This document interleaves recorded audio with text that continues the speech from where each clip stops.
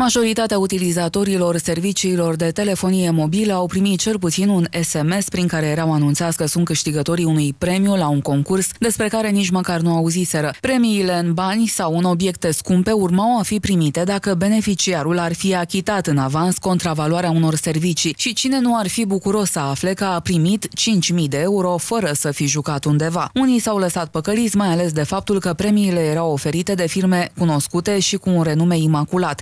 Poliția este sesizată de obicei doar de o parte dintre cei păcăliți, deoarece celorlalți le este jenă să recunoască naivitatea de care au dat dovadă. De la începutul anului, poliția a fost sesizată cu privire la comiterea a noi infracțiuni de înșelăciune prin metoda SMS. În cauza au fost întocmite dosare penale, iar polițiștii continuă cercetările. Și cum utilizatorii de telefoane mobile sunt extrem de numeroși, există o piață favorabilă pentru cei care obțin bani, profitând de cei mai încrezători cu SMS-uri înșelătoare. Procedeul s-a extins și la utilizatorii internetului, mulți dintre aceștia fiind tentați să câștige bani sau bunuri necuvenite. Deși acest gen de fraude a fost mediatizat intens, nu toți cei atacați prin SMS sau e-mail știu cum să evite păcăleala. Pentru a nu cădea victime acestor gen de infracțiuni, polițiștii le recomandă cetățenilor să ignore mesajele primite prin mail sau telefonic în care sunt desemnați câștigători ai vreunui concurs organizat de o firmă de renume, concurs la care nici măcar nu au participat, să nu accepte să plătească în avans pentru diverse bunuri și să le plătească doar la livrare livrare după verificare. Imaginația răufăcătorilor se dovedește a fi inepuizabilă, procedeele folosite de aceștia pentru înșelarea cetățenilor mai neatenți sau mai puțin educați, ținând pasul cu evoluția tehnicii. Înainte de a accepta demersurile propuse pentru a intra în posesia unui câștig, toți cei în cauză trebuie să se gândească de două ori dacă acel premiu li se cuvine și să refuze să se lase înșelați.